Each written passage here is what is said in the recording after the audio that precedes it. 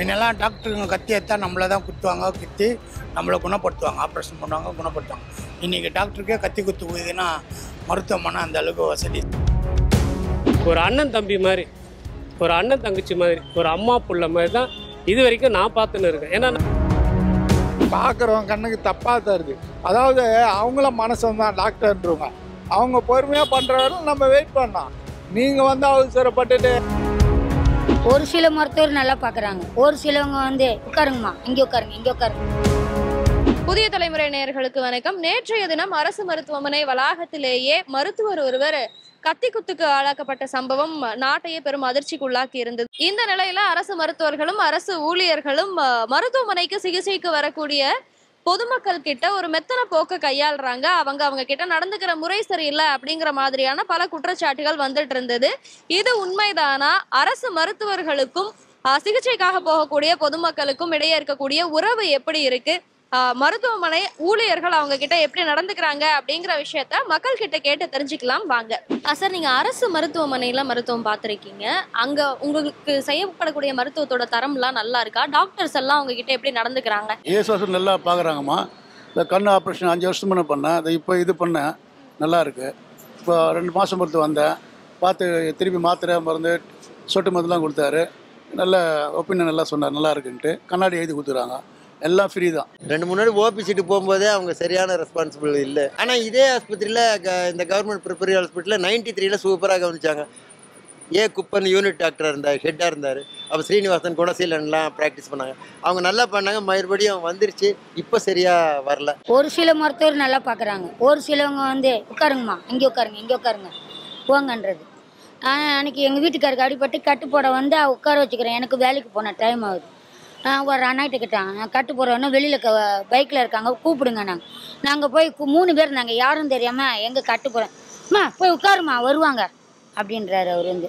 நாங்களும் ஒரு அரை மணி நேரமாக இருந்து இருந்து பார்த்துட்டு அப்புறம் வெளியில் போய் சத்தம் போட்டேன் நான். யாருங்க கட்டு போடுறது வாங்கலாம் எங்களுக்கு வேலைக்கு டைம் ஆகலையே அப்படின்னு கேட்ட பிறகு அதுக்கப்புறம் வந்து கட்டு போட்டுட்டு அதுக்கப்புறம் போகிறாங்க வந்து. முன்னெல்லாம் டாக்டருங்க கத்தி எடுத்தால் நம்மளை தான் குத்துவாங்க குத்தி நம்மளை குணப்படுத்துவாங்க. ஆப்ரேஷன் பண்ணுவாங்க குணப்படுத்துவாங்க. இன்றைக்கி டாக்டருக்கே கத்தி குத்து போகுதுன்னா மருத்துவமனை அந்த அளவுக்கு வசதி சரியில்லை அங்கே. அடிப்படை வசதி அங்கே சரியில்லை. டாக்டருங்க சரியான முறையில் வேலை பார்க்க மாட்டாங்க அங்கே ஒர்க்கர்ஸோ ஊழியர்களும் சரியாக வேலை பார்க்க மாட்டாங்க எது கேட்டாலும் சரியான பதில் கிடையாது. நான் போன வாரம் போயிட்டு வந்தேன். அதுக்கு முந்த மாதம் போனேன் அதுக்கு முன்ன மாதம் போனேன். எதுக்கு போனாலும் சும்மா சிம்பிளாக ஒரு மாத்திரை எழுதி கொடுக்குறாங்க.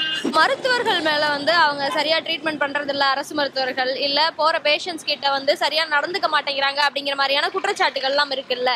அதெல்லாம் ஏதாவது நீங்க பாத்திருக்கீங்களா எல்லாம் ஒரு பிரச்சனையும் கிடையாது. கிளீனாக பார்க்குறாங்க. மரியாதை கொடுத்து நல்ல மரியாதையோட தான் பேசுகிறாங்க நல்லா பேசுறாங்க நல்லா ட்ரீட்மெண்ட் எடுக்கிறாங்க நல்லா தான் இருக்கு என்ன என்ன உடம்பு என்ன பண்ணுது? எல்லாம் சரியா இருக்கா? அப்படின்னு கேட்பாங்க. நாங்கள் எல்லாம் நல்லா இருக்குதுன்னா மாத்திரை எழுதி கொடுப்பாங்க அவ்வளோதான் மரியாதை குறைவா பேசுறது? இல்லை இல்லை. நல்லா கோஆப்ரேட் பண்ணுறாங்க நல்ல பண்ணுறாங்க அதெல்லாம் எந்த ப்ராப்ளம் கிடையாது. போன நல்ல ட்ரீட்மெண்ட்லாம் நல்லா இருக்கு. என்ன உடம்புக்கு? எவ்வளோ நல்லா இருக்கு? வெளியே வேணா பார்த்துக்கிறியா? இன்ஜெக்ஷன் பண்ணிக்கிறியா? அதெல்லாம் கேட்டு அதுக்கு தகுந்த மாதிரி ட்ரீட்மெண்ட் பண்ணி டேப்லெட்ஸு இன்ஜெக்ஷன்லாம் அதை கரெக்டாக கொடுத்து நல்லா பண்ணுறாங்க அதனால எந்த ஒரு ப்ராப்ளமும் கிடையாது. ஒரு நாளைக்கு ஆயிரம் பேர் வராங்க அதில் ஒன்று ரெண்டு வரதான் செய்யும். ஃபேமிலியிலே வந்து ஒரு அஞ்சு பேர் பத்து பேர் தான் அது ஃபேமிலியே ரன் பண்ண முடியாமல் ஒருத்தர் பண்ணுற தப்புக்கு எல்லாமே பலிகாடாகுது இல்லை? அது ஒன்று ரெண்டு தான் வர செய்யும். அதெல்லாம் ஒன்றும் கிடையாது. நல்லா தான் பார்க்குறாங்க அதெல்லாம் வந்து எந்த ட்ரீட்மெண்ட்னாலும் எந்த எமர்ஜென்சி எது வந்தாலும் அதெல்லாம் நல்லா தான் பார்க்குறாங்க அதில் எந்த குறையெல்லாம் கிடையாது. நம்ம ஏன்னா நம்ம ஓட்டுறோம் இங்கே நம்ம பார்க்குறோம் கண்ணால் பார்க்கறதுனால நம்ம சொல்கிறோம் வேறு ஒன்றும் கிடையாது. ஃப்ரெண்டையும் அட்மிட் பண்ணிக்கிறேன். அவங்கள நல்லா தான் பார்க்குறாங்க டாக்டருங்க நல்ல ட்ரீட்மெண்ட் தருவாங்க. இந்த ஹாஸ்பிட்டலை பொறுத்தவரை நான் இப்போ எனக்கே ஆப்ரேஷன் பண்ண ஒரு வாட்டி. நல்ல ட்ரீட்மெண்ட்டு எந்த குறையும் கிடையாது. எல்லாமே நல்லா பார்க்குறாங்க சின்ன வயசுலேருந்து நான் பார்க்குறேன் இன்றைக்கி நாற்பத்தெட்டு வயசாகுது இங்கே பார்க்குறேன் எனக்கு நல்ல ட்ரீட்மெண்ட் இங்கே தான் நம்பி வருவேன் இந்த ஹாஸ்பிட்டல் அப்போல்லாம் ஒன்றும் கிடையாது. நம்ம சொல்கிற பேர் செஞ்சு கொடுத்துட்டு போகிறாங்க நோயாளி கேட்குறாங்க எப்படி கேட்குறாலும் அதை பண்ணிட்டு போகிறாங்க எந்த வித வார்த்தைகளும் கிடையாது. நம்ம எது சொல்கிறோமோ அந்த டைமுக்கு அவங்க செய்கிறாங்க எந்த குறையும் கிடையாது. எந்த குறையும் கிடையாது. டாக்டருங்க நம்மளுக்கு நண்பர் மாதிரி பழகுறாங்க. பார்க்குறவங்க கண்ணுக்கு தப்பாக தருது. அதாவது அவங்கள மனசம் தான் டாக்டர்ன்றவங்க.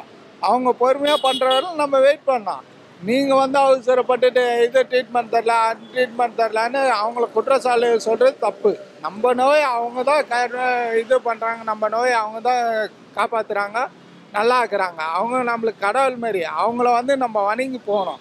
கண்ணை முழிச்சு வேலை செய்கிறாங்க அவங்கெல்லாம் நம்ம பாராட்டணும் கண்டி குறை சொல்லி பிரயோஜனம் இல்லை. அப்படி இது வரைக்கும் நடக்கலை மேடம். அவங்களும் மனிதர்கள் தான். ஏன்னா ஒத்துரு ரெண்டு பேர்கிட்ட நம்ம கனிவாக பேசலாம்.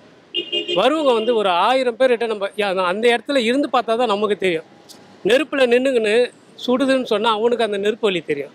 நெருப்புக்கு வெளியில் நின்று இதெல்லாம் ஒரு சூடான்னு கேட்டால் அதுக்கு நம்மளால் பதில் சொல்ல முடியாது. ஒரு அண்ணன் தம்பி மாதிரி ஒரு அண்ணன் தங்கச்சி மாதிரி ஒரு அம்மா புள்ள மாதிரி தான் இது வரைக்கும் நான் பார்த்துன்னு இருக்கேன். ஏன்னா நான் நிறைய வாட்டி ஹாஸ்பிட்டல் அட்மிட் ஆயிருக்கேன். காது ஆப்ரேஷன் மூக்கு ஆப்ரேஷன் என் ஒய்ஃபு போன உயிரை அவங்க எடுத்துகிட்டு வந்து கொடுத்தாங்க. இது வரைக்கும் ஒரு உறவு முறை எப்படி இருக்குன்னா ஒரு ஃபேமிலியில் அவங்களும் ஒரு ஆள். அப்படி தான் இருக்கணும் என்னுடைய ஒரு சின்ன கருத்து. தொட்டு பார்ப்பாங்க. அந்த இதை வச்சு பார்ப்பாங்க டெலஸ்கோப்பு எல்லாத்தையும் கேட்பாங்க. நல்லா இருக்கா? உடம்பு எப்படி இருக்குது சௌரியமாக இருக்கா? உனக்கு சரியில்லைன்னா ராயப்பட்டிக்கு போ. இல்லைன்னா இங்கேயே வா. அப்படின்னு சொல்லுவாங்க. இது வரைக்கும் எந்த இதுவும் இல்லை. டாக்டருங்க சரியான முறையில் எதுவுமே பண்ணாமல் இல்லை. எல்லாமே நல்லா தான் பண்ணுறாங்க இந்த மாதிரி ஹாஸ்பிட்டலும் எங்களுக்கு ரொம்ப சௌரியம். இந்த மாதிரி எதுவும் டாக்டர்லாம் எங்களை குடும்பம் பத்திரமெல்லாம் எதுவும் கேட்கல உனக்கு ஜுரம் இல்லை. உனக்கு அந்த வியாதி இல்லை. போய் என் வீட்டுக்கு இங்கெல்லாம் ஏன் வரேன். ப்ரைவேட்டில் போய் பார்த்துக்கணும். அந்த மாதிரி ஒரு நாள் இங்கே சொன்னதில்லை. இப்போ தான் ஃபஸ்ட் டைமாக இந்த கலைஞர் ஹாஸ்பிட்டல் கட்டியிருக்காங்க கிண்டியில். அங்கே தான் இந்த மாதிரி வேலைலாம் நடக்குது. இதுக்கு முன்னாடி எங்கேயுமே நடந்ததில்லை. ஆனால் அசோக் கவர்மெண்ட் ஹாஸ்பிட்டல் அவ்வளோ நல்லாயிருக்கும் மக்களுக்கு சௌரியமானது எதுக்கு வந்தாலும் சரிங்க. மருத்துவர்கள் உங்ககிட்ட பேசக்கூடிய விதம் எப்படி இருக்கு நல்லா ஒரு கனிவாக தான் பேசுகிறாங்க பொறுமையாக கேட்குறாங்க என்ன விஷயம்? தலை வலிக்குதுன்னு நாங்கள் போனோம். எதனால் தலை வலிச்சது ஏன் வலிச்சது அப்படின்னு கேட்டாங்க. நாங்கள் பைக்கில் வந்தபோது கீழே விழுந்துட்டு போது அந்த வலி அவங்க பார்க்கல. ஏன் பைக்கில் இப்படி வந்தீங்க? நீங்கள் நல்லா இருந்தால் தானே?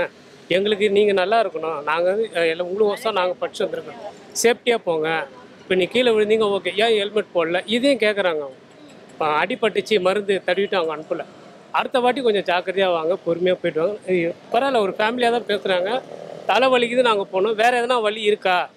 சொல்லுங்கள் வேறு என்ன கழுத்து வலிக்கா? கீழே விழுந்தோடனே எங்களுக்கே தெரியாது. கீழே விழுந்தால் இப்படி ஆகும் அப்படின்னு அவங்க கேட்டாங்க.